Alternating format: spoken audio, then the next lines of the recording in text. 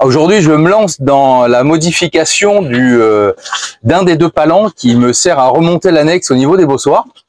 Alors j'ai déjà euh, plus ou moins euh, fait des tentatives, une qui m'a pas du tout, qui marchait pas. on, va on va voir ensemble ça. Et puis une autre dont je suis moyennement satisfait. Donc là, voilà, j'ai je, je, suis sur une, une nouvelle modification et bah, j'espère que celle-là ce sera ce sera la bonne. Dans cette vidéo, on va parler de poulies, on va parler de palans, et, puis on va voir la manière dont les, palans et les poulies fonctionnent, et on va aborder également euh, la façon dont euh, la poulie ou le palan peut ou pas euh, nous faire gagner en, force, parce que le but quand même de ces, outils-là, c'est de réduire la force exercée pour soulever des poids. Et contrairement souvent à ce qu'on pense, euh, certaines configurations ne, le permettent pas. Voilà. Et euh, donc on, va on va aborder ça pendant le pendant cette vidéo.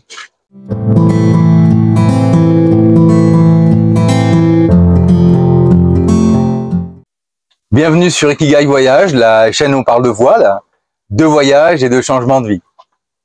Sur nos bateaux, on consomme énormément de, de poulies énormément. Euh, alors on a des poulies, on a des palans, euh, des réas, hein, mais on en a vraiment partout. On en a euh, euh, sous la baume, par exemple. Alors on va aller, on va aller voir ça. Là, en termes de poulies, on en a quand même pas mal. Alors c'est intéressant de voir un peu la diversité qu'on peut avoir. Là, on a un violon avec euh, un réa. Ce qu'on a en blanc là, c'est la, la, partie mobile hein, qui va qui va rouler, ce qu'on appelle le réa, avec un autre au-dessus. On va avoir une poulie ici avec un réa et ce qu'on appelle un ringot, c'est-à-dire une, euh, une partie fixe sur laquelle on va faire un nœud. Là-bas, on a une poulie simple. Alors sous la baume, on en a beaucoup. Hein. On a ici la même chose au niveau du alba de baume. Et puis on a tout en haut du mât, on va avoir tout en haut là-haut juste un réa, c'est-à-dire juste la rondelle là qui tourne avec la gorge ce qu'on a vu euh, la partie blanche. Et puis on peut avoir aussi une, euh, une poulie à l'extérieur, souvent pour la, la drisse de spi.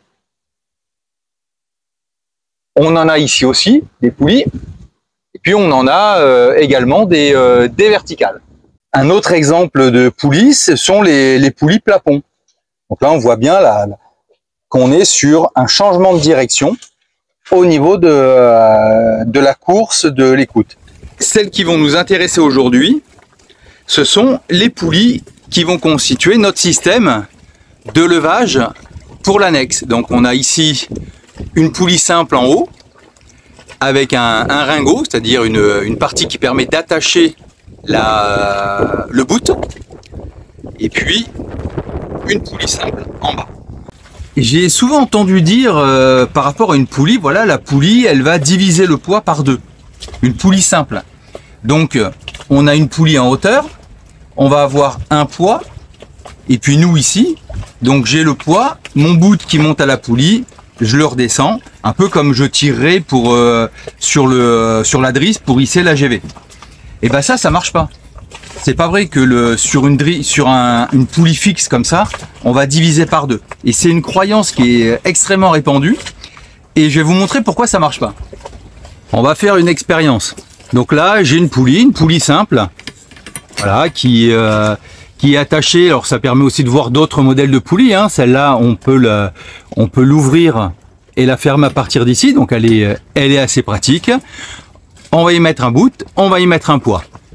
J'ai mon poids, mon bout, ma poulie. Voilà. Alors on va mesurer le poids déjà. C'est un poids de 2 kg, mais je vais quand même vérifier qu'il fasse bien 2 kg. C'est un poids de plongée. Donc mon poids, je l'ai pris avec tout simplement un pèse-valise. Donc le poids de, 2 kg, bah, il fait 1,8 kg. Donc on n'est pas tout à fait sur 2 kg, mais en tout cas voilà, notre mesure elle est à 1,8 kg. Donc maintenant je vais le, le soulever. Le poids est en bas.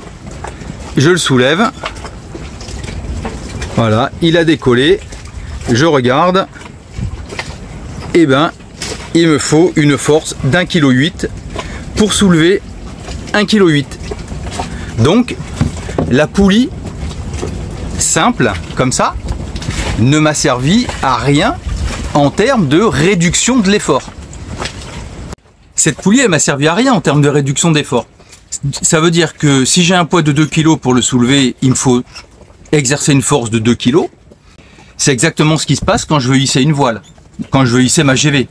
Si je veux hisser ma GV, ben, euh, le, poids de la GV et euh, la force que je vais devoir mobiliser pour la soulever, euh, le Réa qui est en tête de mât, lui, il ne me fait absolument rien gagner en termes d'effort.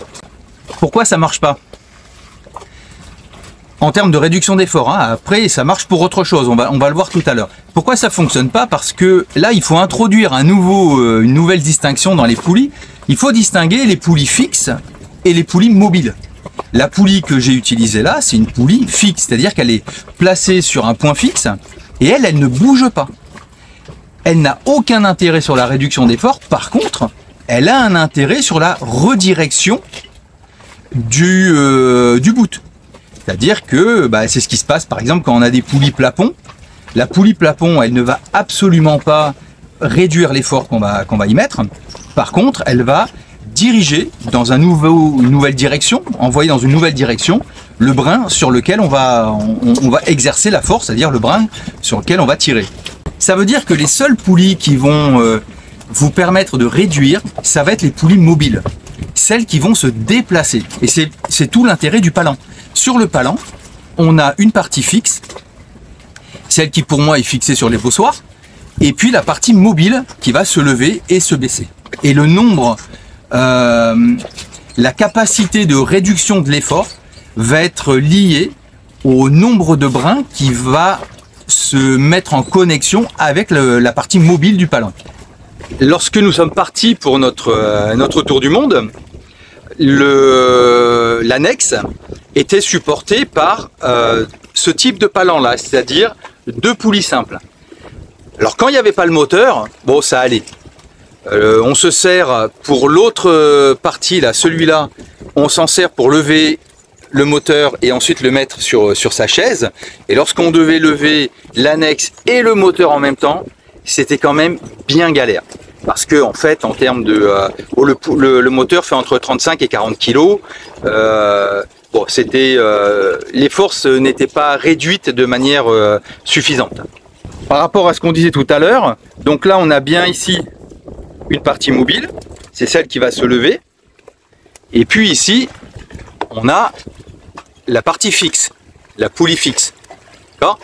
Donc, la poulie fixe, ce qu'on voit, c'est que là, on peut rediriger, redonner une nouvelle direction au bout, hein, qui va permettre de, de lever. Et si je veux compter le nombre de brins en réalité qui va me permettre de réduire la force, on n'en a que deux. 1 et 2. Et celui-là, là, celui-là, il compte pas. En fait, on n'a pas trois brins. Celui-là ne réduit pas la force. Donc si j'ai ici en bas un poids de 40 kg, 1, 2, je divise mes 40 kg par 2 et je vais devoir tracter ici 20 kg. Voilà. Et pas 40 divisé par 3. Donc ça, c'est largement insuffisant. Lorsque je parle de poulie fixe, c'est-à-dire la poulie qu'on a en haut, et que je dis que ça, elle a comme objectif de, euh, comme utilité, de modifier, euh, on va dire l'angle et la direction de traction. Alors c'est vrai qu'on peut l'entendre. Si je prends ce, ce bout là, d'angle de traction entre la verticale ou bien un peu plus à 90 ou encore plus ouvert comme une poulie de renvoi, mais tout simplement, ça vient du fait que moi, la gravité, la force exercée par la gravité, elle va vers en bas. Si je voulais faire remonter quelque chose, je serais obligé de tirer vers le haut. Et la poulie fixe, elle, elle fait que pour faire remonter, je vais tirer vers le bas. La première redirection, elle est là. Alors au départ, je m'étais dit, parce qu'il fallait faire avec les moyens du bord, je vais faire un palan avec euh, des anneaux à faible friction. Donc j'ai bah, fabriqué ça, j'ai mon anneau, Il est pris ici, c'est du Dynema, donc c'est vachement solide. Et j'ai fait un loops, une boucle supplémentaire, ce qui fait que je pouvais attacher cette, euh, cette construction là à la fois là-haut, un là-haut et un en bas. Bon, euh, ça marche pas. Ça marche pas parce que euh, les, angles sont extrêmement aigus. Hein, on a quelque chose qui est parallèle. Hein. on a on a deux brins qui sont complètement parallèles, donc euh, la friction est trop forte. Et voilà, bon, bah, ça marchait pas du tout. Ça, je l'ai gardé parce que ça me permet de faire aussi bah, des anneaux pour faire des renvois hein, que je peux attacher par exemple sur mon rail de Fargue. Mais en tout cas, pour moi, l'idée du palan, euh, tel que je l'avais imaginé, avec des anneaux à faible friction, sur des configurations comme ça où les brins sont serrés et parallèles, ça n'a pas du tout, du tout marché. Du coup, j'ai dû euh, me résoudre à investir dans des poulies comme ça, avec plusieurs réas, dont une des poulies avec un ringot, c'est-à-dire ce dont je parlais tout à l'heure, cette espèce de languette là, qui permet d'attacher le, démarrage du, euh, du palan. Le bout que j'ai ici, c'est du 10. Quand j'ai commandé par téléphone en, métropole, j'ai dit au gars, voilà, j'ai du bout de 10, je veux faire un palan, il me faudrait euh, une poulie avec trois réages juxtaposés. Et, euh, et, moi, dans mon esprit, je pensais que le gars, il allait me faire la, traduction directe. et donc, il m'a donné de la poulie de 10. Seulement, la poulie de 10, euh, avec un bout de 10, bah, ça fait beaucoup de frottement. Ce qui est bien, c'est d'avoir le réa légèrement supérieur au bout, en termes de, euh, ici, de diamètre. Donc, je, euh, pensais sincèrement que le gars, il allait automatiquement me, donner de la poulie avec des réas de 12. Bon, bah, c'était pas le cas. Alors, quand je les ai, reçus, c'était comme ça. Euh, je me suis dit je tente le coup. Et en fait, si je faisais passer dans les trois, c'est pour ça qu'il n'y en a que deux, et eh ben il y avait trop de frottement. Mais entre temps, moi je suis parti acheter acheter un bout en 10 parce que euh, quand vous rajoutez de la longueur à votre réa là, quand vous rajoutez des poulies, des, réas à votre palan, vous rajoutez également de la longueur ici. Parce que au lieu d'avoir comme là deux brins, bah, j'en ai quatre. Hein. Et du haut de mon bossoir là-haut à l'eau, eh ben, j'ai 2,50 m. Donc, euh, en passant de 2 à 4 brins, j'ai dû rajouter 5 mètres. En sachant qu'après, il faut compter le brin qui vient là, plus la longueur qu'il vous faut pour faire votre nœud de taquet. Et la longueur totale, elle est calculée en ayant le bas de la poulie tout en bas. Donc voilà, pensez bien quand vous allez modifier vos, installations sur les, euh, sur les palans, et euh, eh ben la, longueur de bout risque d'être euh, multipliée par 2 ou par 3. Et ça fait de la longueur. Hein. Donc me voilà parti pour récupérer du bout de 8. Alors, ça pose pas de problème parce que comme on rajoute, on rajoute des tours dans le palan, à chaque fois on va diviser la force de traction, ce qui fait que ça, passe bien le bout de 8. Si on avait, comme j'avais auparavant, euh, juste deux poulies, deux réas, un en bas, un en haut, euh, franchement, euh, le 8, ça peut un petit peu tirer sur les doigts parce qu'il va falloir serrer fort, ou alors faire des tours dans la main, ce qui est jamais conseillé, parce qu'on peut, se faire mal. donc, bah, l'ancien qui était en 10 euh, était, euh, très bien lorsqu'on avait beaucoup de force à exercer. Là, en réduisant les forces à exercer, je peux réduire sans problème mon, diamètre de bout. Vous voyez, quand on a 1 euh, cm de réa, un réa de 10 avec un bout de 10, on a quand même pas mal de... Il n'y a pas beaucoup d'espace en fait. Et, et ça, c'est un bout qui est relativement vieux la longueur, euh, en, ayant rajouté des réals, la longueur est pas suffisante. Et dans du boot 9 en 10, bah, je peux vous dire que euh, ça frotte quand même pas mal. Donc euh, bah, c'est pour ça que je suis passé sur du 8.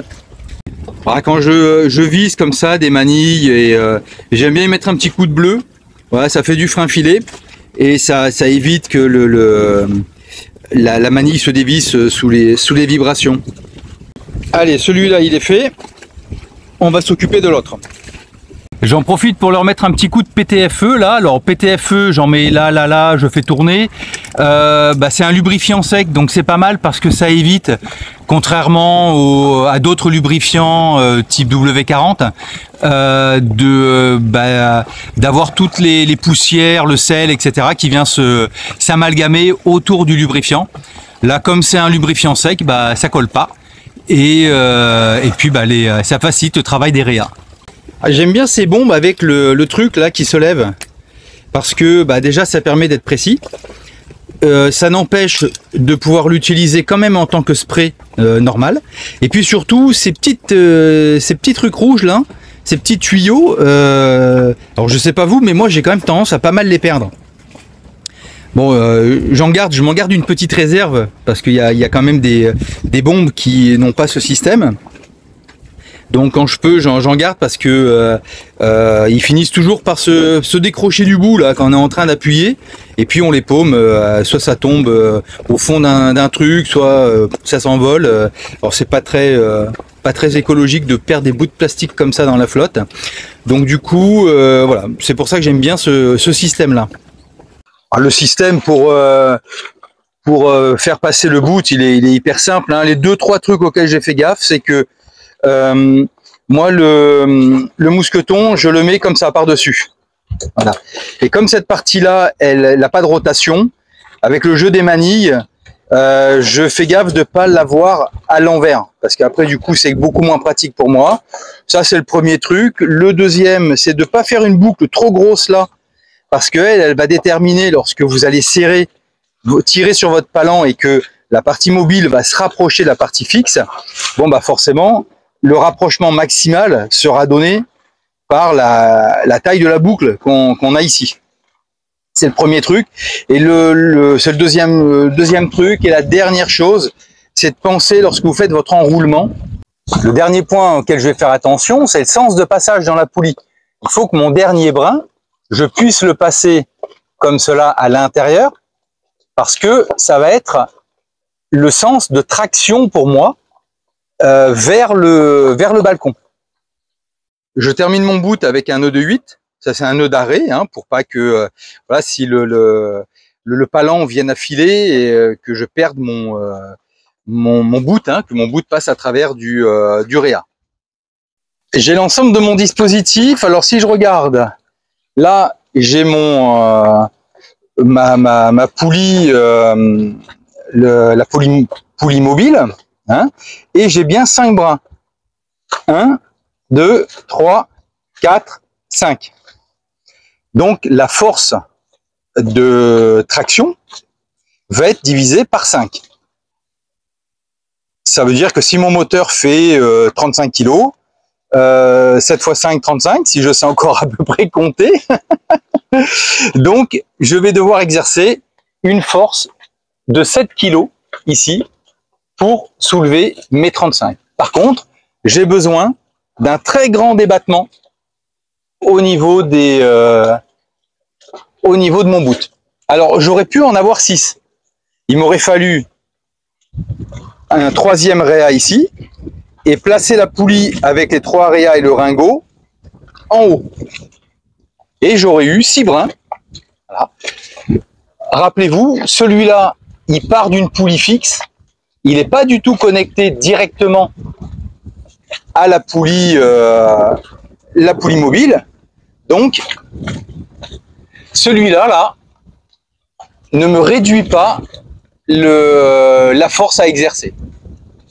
Et lorsque je suis au mouillage, j'utilise euh, cette façon-là de, euh, de lever le, le, boot. Alors ça, vous l'avez sur un, short sur la chaîne.